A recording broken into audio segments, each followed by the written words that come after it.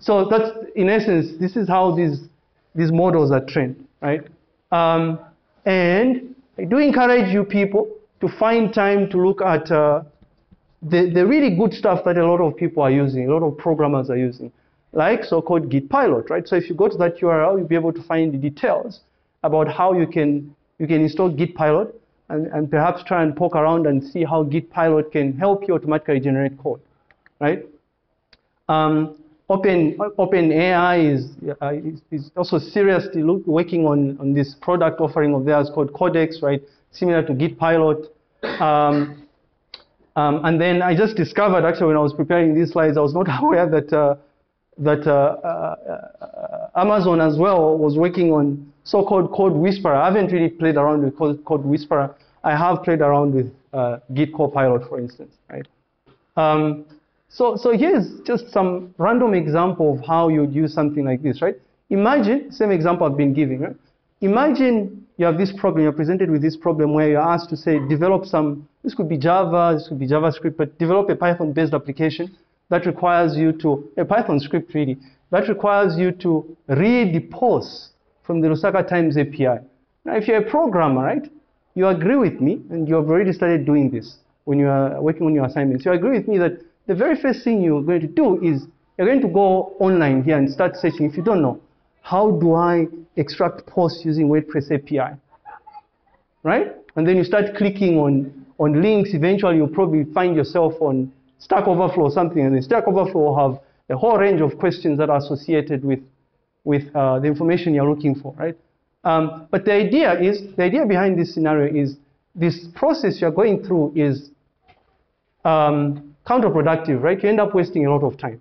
I don't know how many of you have found yourselves looking for like a solution and you spend hours, right? Just clicking, you know, going to page number two of Google, right? Trying to find a solution and you can't find the solution. Um, but it turns out that you can take advantage of these so-called AI-powered code generators. Like I've, I've given you a ton of examples with ChatGPT. So in ChatGPT, I don't know if you can see here, but in ChatGPT, um, what I did in this particular example myself is I just said, I asked uh, ChatGPT a very simple thing, right? Sat there, right? And I asked a very simple question, similar to this same scenario, right? Write a Python script that's going to extract the most recent 100 posts from the WordPress API Lusaka Times. And, and what this AI-powered code generator, although I mean this is like a generic generative model here, um, but because this, this, this application here of the model, which is uh, GPT-3, I don't know if they've improved it, is, is really, uh, it was, it's pre-trained on, on public data as well on the internet, uh, which explains why you can actually generate code using ChatGPT. It's not specific to code per se. You can actually um, issue so many different things within ChatGPT. But there we go. So what this thing is doing is it just it generates code for me. And what I did actually when I did this, I was doing this today, is I just copied the code and just pasted it in, in Python, and boom, right? I'm able to extract all the 100 posts uh, from Lusaka Times. I mean, granted, this is a very, um, I think this is a very, sorry? For assignment?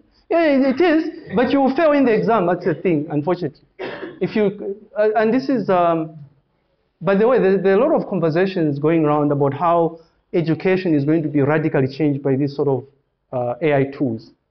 In fact, um, yeah, there are a lot of conversations about what exactly people are doing in this space, right? Uh, are we getting too far ahead of ourselves? If we are, if you are designing software that is able to really think in more or less, think, but behave in more or less the same way that a human being can think, uh, like when you, you're interacting with this, you actually have a conversation with this, right? It's a conversational bot. So if you're designing software like that, I mean, the questions that people uh, into this ethical AI space asking is, I mean, are we really, do we know what we are doing, right? Or are we just rushing to do these things? Because these things are getting better and better, right? Like there's talk of them having, is it uh, deployed GPT-4, for instance, but they haven't yet integrated it with the publicly available version of ChatGPT, right? But anyway, that's besides the point. So there we go, right? Reuse, this is an example of reuse. Don't forget we're talking about reuse here, right? A different type of reuse here, right? Um, so, but I can also take advantage of different sort of tools, right? So this, this, this application called uh, GitHub Copilot is marketed as uh, an AI pair programmer. I don't know if you were introduced to pair programming uh, in 2010. So uh, in as much as programming is an individual task, but there are certain instances where you'll be programming with another individual, right? So you, you, you're pair programming. Typically, you'd be pair programming with uh, somebody who uh, is well versed, right? Somebody who has experience and it's a learning process, like you're being mentored or something. So the idea behind Git Copilot is you have this AI assistant which acts as um, as as your your mentor or something, right? So I, I, did a similar, I issued a similar query. So I installed uh, GitHub Copilot.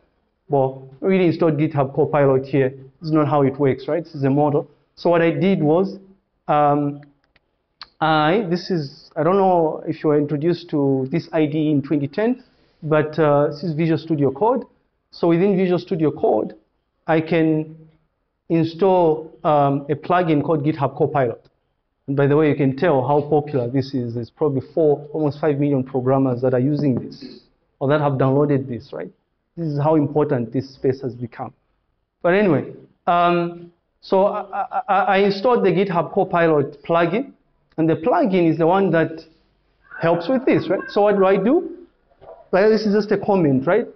I create a comment, and in the comment I just say, write a Python script that extracts the most recent 100 posts.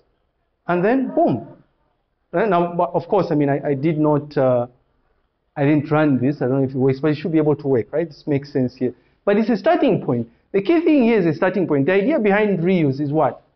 You're trying to be effective at what you're doing, right? You don't want to waste time.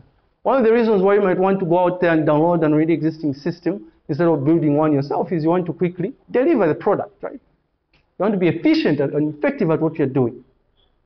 You understand? It's quite interesting. Now, I mean, I do encourage you to look into this, uh, and I think maybe I, I can also showcase uh, something else that it's not just a comment, right? Um, of course, this only works on compatible IDEs. So it turns out that Visual Studio Code is perhaps one of the most widely used IDEs or something. I, don't know if you discussed IDE wars in your 20 in, in your 10, 2010, right? well, which one is the best IDE? No, it's Dr. Java. Okay, that's fine. Uh, well, I'm using Visual Studio Code.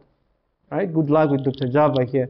But uh, I don't know if Dr. Java is on the list of compatible code. I don't think it is. But, but I can showcase an example maybe for Java here. But I can, again, I like using Python myself. So I'll open a new editor, right? I mean, sorry, a new editor here. But I'll open a new file, right? Um, and then I'll just say this is uh, going to be again, I prefer Python here. I'm going to say 2030 again, but uh, uh, in class, example, something, right? And then the moment I give it an extension, um, because because I've, I've already I've already installed the way this works is I've already installed a Python uh, plugin for this IDE. Right, so this IDE is generic. I can use it to write, you know, Java code, JavaScript, Python. But because I've created a Python IDE, this thing will be able to hopefully recognize a number of things here. So for instance, I could, doesn't have to be a comment, I could say, uh, in, in Python, we, I want to create a function that define add numbers, right? And hopefully, I don't know if this thing is going to be add list of numbers. Maybe this thing is not going to work or something. Um, not working. right? Ah, maybe it's, it's probably not my offline. I'm probably offline here. Yep. So the reason why nothing is happening, if you notice, because the, the way this works is if, if, we're saying it's making reference to a model, um, I guess I should connect here. If it's making reference to a model, that model has to be somewhere online out there, right? You understand? So if you notice here, I don't know if you can see here, Copilot error, right? It has to connect to some online resource or something, which is quite unfortunate. I would have really loved for you guys to see this. I do encourage you to find time and look at this though. Um, quite nice.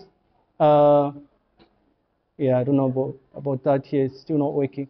Um, so we should see, but it's quite nice. Isn't? Bottom line though is, um, the bottom line is uh, a classic, a classic way of taking advantage of reuse.